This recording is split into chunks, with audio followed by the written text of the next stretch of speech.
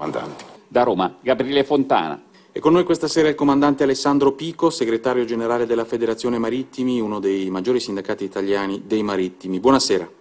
Buonasera. Allora, si aggravano, stando a quanto riferito anche dagli inquirenti, le responsabilità del comandante, rotta azzardata, ritardi nel dare l'allarme. Qual è la vostra posizione come sindacato su quanto accaduto?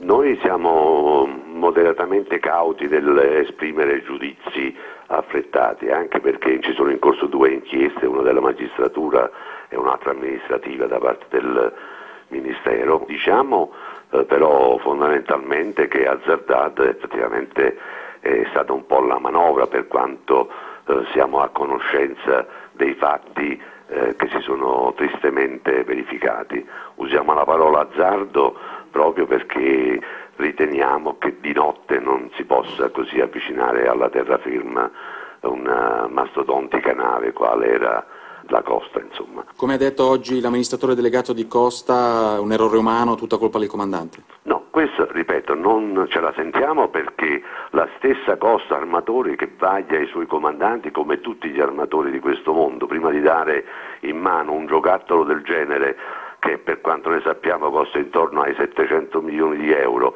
più il trasportato che è gente che paga il biglietto, più l'equipaggio che lavora sottopagato, insomma eh, ce ne vuole, quindi non era un uomo che era al primo comando, la conosceva la nave, quindi, e non era il primo giorno che faceva quella rotta, quindi presupponiamo che qualcosa di strano sia successo, insomma, perché probabilmente c'erano almeno altri due ufficiali, insomma, oltre ad avere marinai di guardia e quant'altro, insomma, ci sono almeno 5-6 persone di solito su un ponte di comando. Ci si interroga anche mm, su questa corsa a costruire navi sempre più grandi, tecnologia certo avanzatissima, ma gestire un'emergenza su questi grattacieli viaggianti pieni zeppi di gente è complicato. Allora le chiedo, si è superato il limite? Credo di sì, eh, il limite è superato. La nave sicuramente è una nave costruita in sicurezza secondo tutti quelli che sono i criteri di alta tecnologia e ingegneria, perché comunque non è che non c'è stata tecnologia e ingegneria in tutto questo. Purtroppo quando c'è troppa gente è, è molto facile che poi può succedere di tutto. Insomma. Cioè navi così grandi sono un pericolo per la sicurezza? Secondo cioè... me eh, sotto l'aspetto umano sì, possono dare tutto quello che vogliono di sicurezza, ma portare troppa gente e poi diventa difficile la gestione. Per quanto si possa essere bravi diventa difficile. Secondo me un poco ci dobbiamo fermare, perché si costruisce per mettere più gente a bordo per fare business, è tutto qua.